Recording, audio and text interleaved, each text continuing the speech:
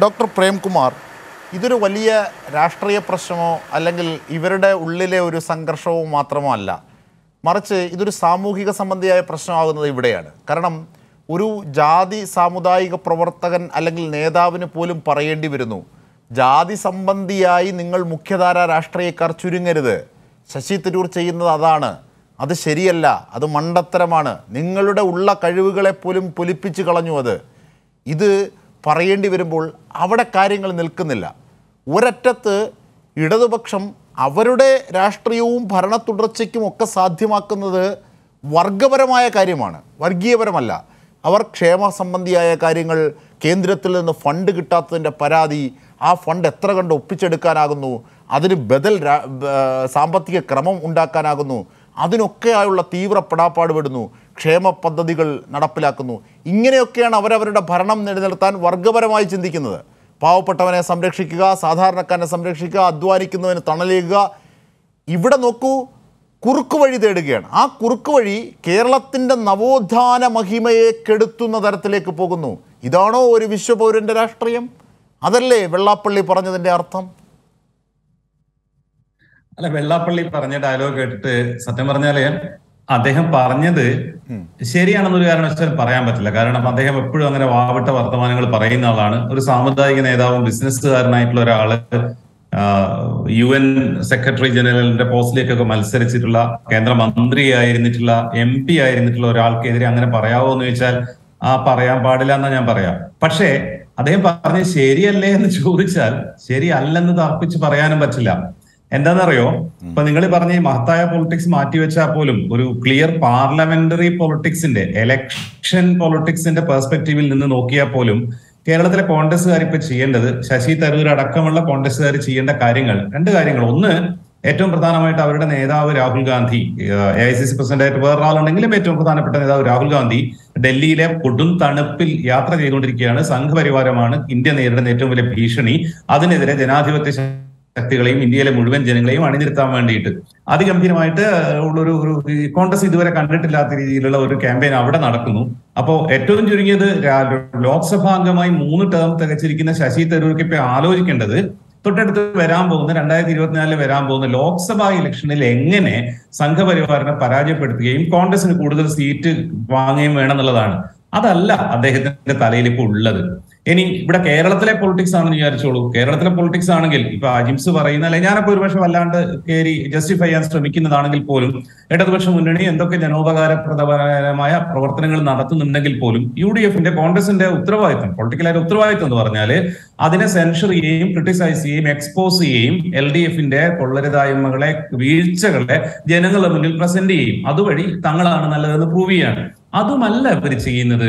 ശശി തരൂർ ഇപ്പൊ ചെയ്തുകൊണ്ടിരിക്കുന്ന രമേശ് ചെന്നിത്തലയുടെ ഭാഷയിൽ പറഞ്ഞാൽ കുപ്പായം തുന്നിക്കലല്ല രണ്ടായിരത്തി ഇരുപത്തി ആറിൽ വരാൻ പോകുന്ന തെരഞ്ഞെടുപ്പിൽ താൻ മുഖ്യമന്ത്രി സ്ഥാനാർത്ഥിയാണ് എന്ന് നാട് മുഴുവൻ നടന്നിട്ട് നാട്ടുകാരെ കൊണ്ട് പറയിപ്പിക്കുകയാണ്. അപ്പൊ പറയണം എന്നോട് ആളുകൾ ചോദിച്ചു താങ്കൾ അതിന് യോഗ്യനല്ലേ? ആരാണ് ഇപ്പൊ കേരളത്തിന്റെ മുഖ്യമന്ത്രി ആവാൻ യോഗ്യനല്ലാത്തതെന്ന് ചോദിച്ചാൽ ആർക്കും ആവാവുന്നേ ഉള്ളൂ. കാരണം എന്താണെന്ന് വെച്ചാൽ ഇത് പൊളിറ്റിക്കൽ സംവിധാനമാണ് ഒരു മുന്നണി സംവിധാനമാണ്. ആ മുന്നണിയാണ് ആളുകളെ തിരഞ്ഞെടുക്കുന്നത്. കോൺഗ്രസിൽ അങ്ങനെ തന്നെയാണെന്ന് എല്ലാവരും പറയും. ഇനി ഇദ്ദേഹത്തിനെ പറ്റിയിട്ട്. അതെ ഭൂരിപക്ഷം കിട്ടണം. ഭൂരിപക്ഷം കിട്ടിക്കഴിഞ്ഞാൽ ഒരു പാർട്ടിക്കോ മുന്നണിക്കോ ഭൂരിപക്ഷം കിട്ടിക്കഴിഞ്ഞാൽ കേരളത്തിലെ ഇപ്പോഴത്തെ പൊളിറ്റിക്കൽ സിസ്റ്റൻസ് ഏത് എം എൽ എക്കും മുഖ്യമന്ത്രിയാകാവുന്നേ ഉള്ളൂ. മലയാളം കേരളം അവരെ അംഗീകരിക്കും. ഇദ്ദേഹം പാണക്കാട് പോകുന്നു സമസ്തയുടെ ആളെടുത്ത് പോകുന്നു ഒരു പള്ളിയിലെ അച്ഛന്റെ അടുത്ത് പോകുന്നു വേറൊരു പള്ളിയിലെ അച്ഛന്റെ അടുത്ത് പോകുന്നു.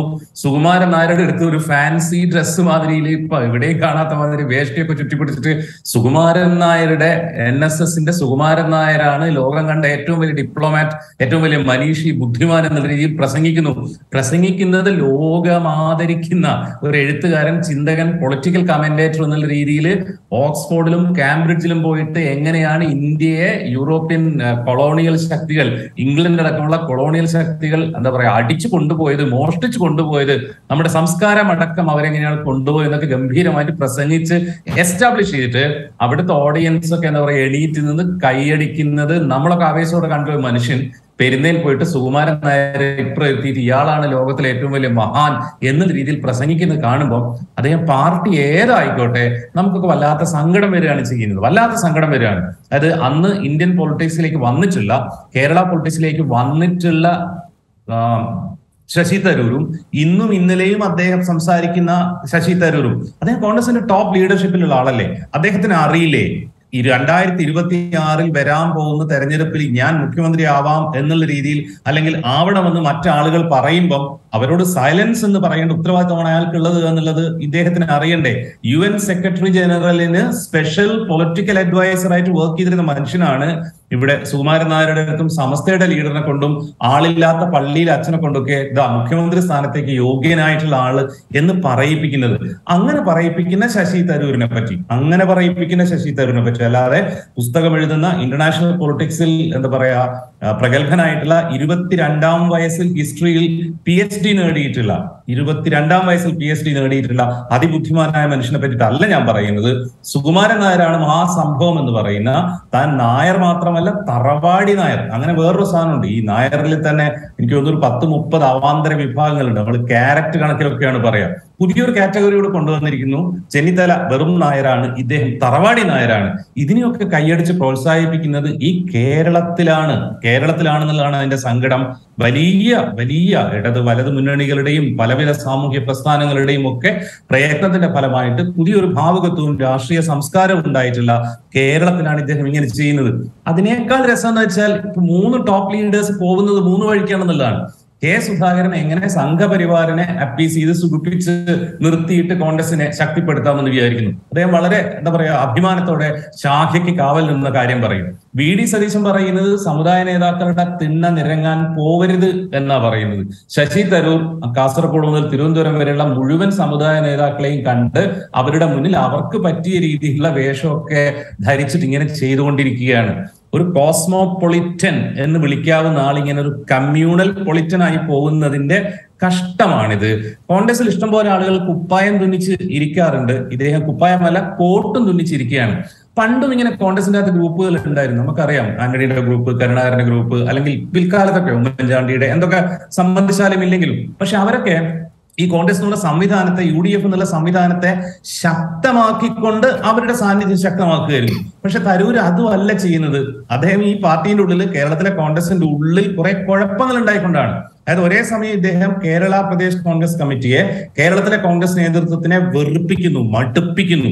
അതേസമയം ഇന്നൊക്കെ നമുക്ക് മനസ്സിലാവുന്നു എ നേതൃത്വത്തിനെയും മടുപ്പിക്കുന്നു. ഈ രണ്ട് സംവിധാനങ്ങളെയും മടുപ്പി കൊണ്ട് ഇനി താഴെ തട്ടിലുള്ള ലാർജ് സ്കെയിൽ കോൺഗ്രസ് പൊളിറ്റീഷ്യൻസ് വർക്കേഴ്സിനെ എല്ലാം ആവേശപ്പെടുത്തുകയോ പുതിയ എന്തെങ്കിലും ഒരു പദ്ധതി മുന്നോട്ട് വെക്കുകയോ കേരള വികസനത്തെ പറ്റിയുള്ള കോൺസെപ്റ്റ് മുന്നോട്ട് വെക്കുകയോ അങ്ങനെയൊന്നുമല്ല. എ പി സി സിയെയും എ ഐ സി സിയെയും വെറുപ്പിച്ച് ചടപ്പിച്ചിട്ട് ഈ മനുഷ്യൻ ചെയ്യുന്നത് എങ്ങനെ ഈ മെയിൻ സ്ട്രീമിൽ നിന്ന് തീരുമാനങ്ങൾ എടുക്കുന്നതിൽ നിന്ന് അകറ്റി നിർത്താമെന്ന് ഇവർ പോലും ആലോചിക്കുന്ന സമുദായ സംഘടനകളെ പോയിട്ട് സുഖിപ്പിക്കുക എന്നുള്ളതാണ്. അത് വളരെ ദയനീയമാണ്. അതുകൊണ്ട് തന്നെ കേരളത്തിന്റെ നിലവിലുള്ള രാഷ്ട്രീയത്തെ വല്ലാണ്ട് പിറകോട്ട് പിടിച്ചു കൊണ്ടുവന്ന ഒരു പരിപാടിയാണ് ശശി തരൂരിനെ പോലുള്ള ഒരാൾ ചെയ്യുന്നത്. ഇത് നൂറ് ശതമാനം ഓപ്പർച്യൂണിസമാണ് നൂറ് ശതമാനം ഓപ്പർച്യൂണിസമാണ് കാരണം ഇനി വരാനിരിക്കുന്ന ലോക്സഭാ തെരഞ്ഞെടുപ്പിൽ മത്സരിക്കാൻ താല്പര്യമില്ല എന്ന് പറയുന്ന എം പിമാരിൽപ്പെട്ട ഒരാളാണ് ശശി തരൂർ.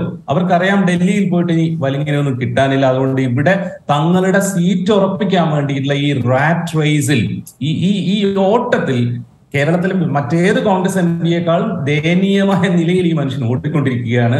അത് അത് കേരളത്തിന്റെ പൊളിറ്റിക്കൽ എന്താ പറയാ ഒരു ഡെമോക്രാറ്റിക് പൊളിറ്റിക്സിനോ സോഷ്യൽ പൊളിറ്റിക്സിനോ ഒന്നും ഒരു തരത്തിലും അത് മുന്നോട്ട് കൊണ്ടുപോയില്ല അതിദയനീയമായ അവസ്ഥയാണിത്.